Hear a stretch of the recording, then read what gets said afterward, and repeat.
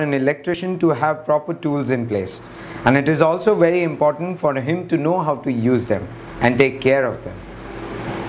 Welcome to this session on wiring tools. After completing this session, you will be able to identify the wiring tools, use the wiring tools. Look at these pliers. Pliers are used to cut wires, twist wires and hold wires in place. There are three types of pliers that are commonly used. Combination pliers, cutter pliers and nose pliers. The first type is combination pliers, also called as joint pliers. They are used to cut and twist wires.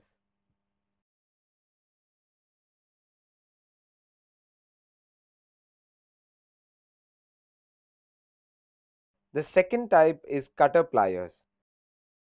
They are used specifically to cut wires especially in cases where the combination pliers cannot be used.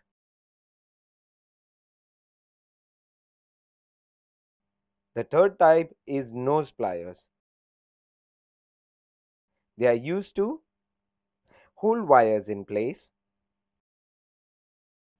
grip nuts, loosen terminals and also tighten terminals while fixing a wire.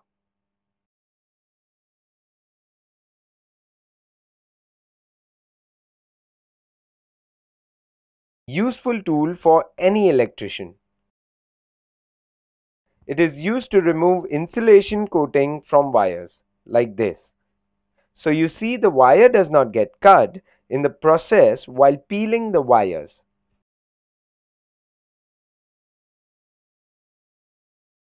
is another important tool of an electrician.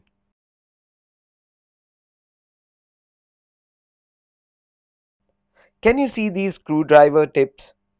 They come in many different shapes and sizes. They can be fixed to the metal blade and used as per the cuts on the screw heads. Screwdrivers are used to tighten or loosen the screws or in other words open screws.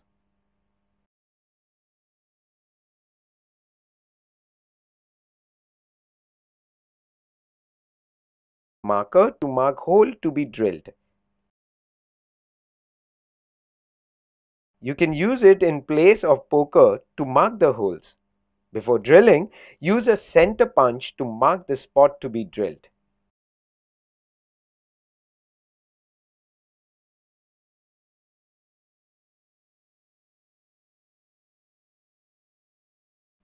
Drilling machines are very useful when you need to fix electrical fittings. Using a drilling machine, you can drill holes in all kinds of surfaces like wooden boards,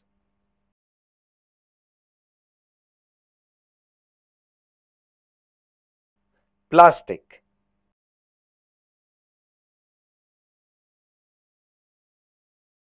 wall,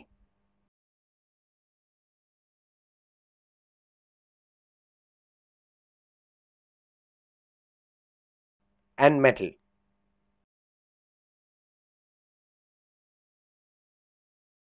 These are drill bits which come in small and big sizes and for different surfaces.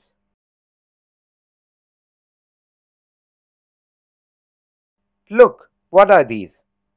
These are called rawl plugs. And they are inserted in the holes drilled, especially on walls.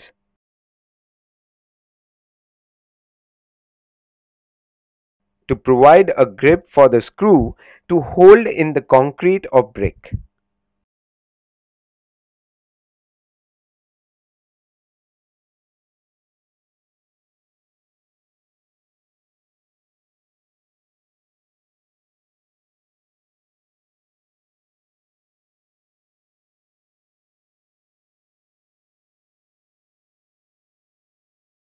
is a pipe wrench. It is an adjuster nut which is used to adjust the distance between the two jaws. The pipe wrench is used to open the joints of a carrier pipe. It is also used to fix the joints of a carrier pipe.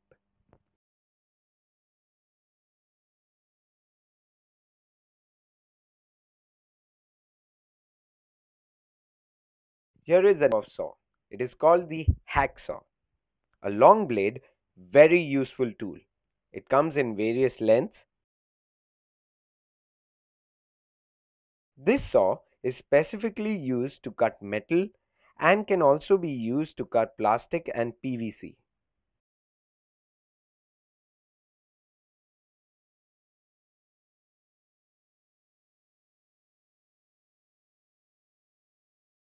Take a look at the ball peen hammer, a very useful tool.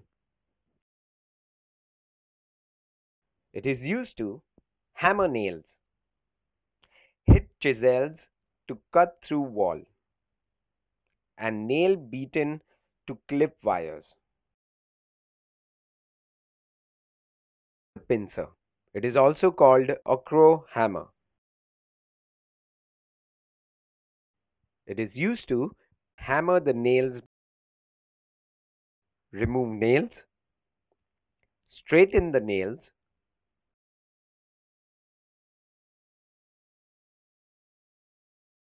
soldering iron. Friends, it is used to connect wires and weld terminals.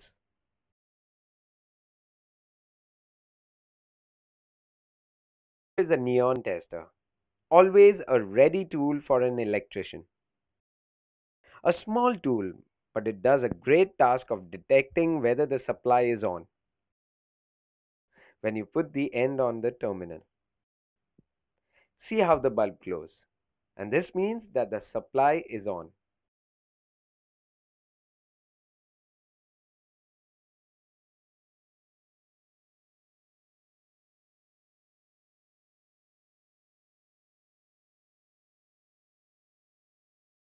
This is a test lamp. It has a phase wire and a neutral wire connected to a bulb. This tool is used to check if a part is functioning by doing a continuity test.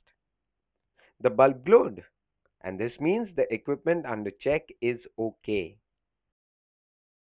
For a few inspections, the test lamp is connected in series with the equipment using this piece of wire just like this.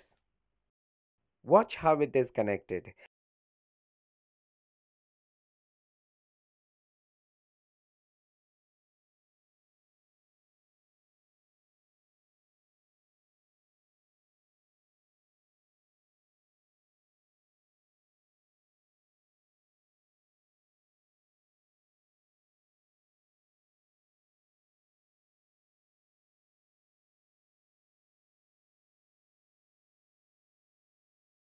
Multimeter, a very useful diagnostic tool. And it is used to check supply continuity in the test equipment. This is a digital multimeter and as the name suggests, it can be set to multi-units for diagnosis by rotating this dial to the required unit, voltage, resistance and so on. Now look at this display panel. The reading is shown here. Here, these two wires, called probes, the red is positive and the black is negative, which gets connected to the multimeter slots while in use. These probes are placed to the unit to be tested. Positive to the input or phase terminal of the unit and negative to the output or the neutral terminal of the unit. And now we check the reading on the display to find if this unit under test is OK or faulty.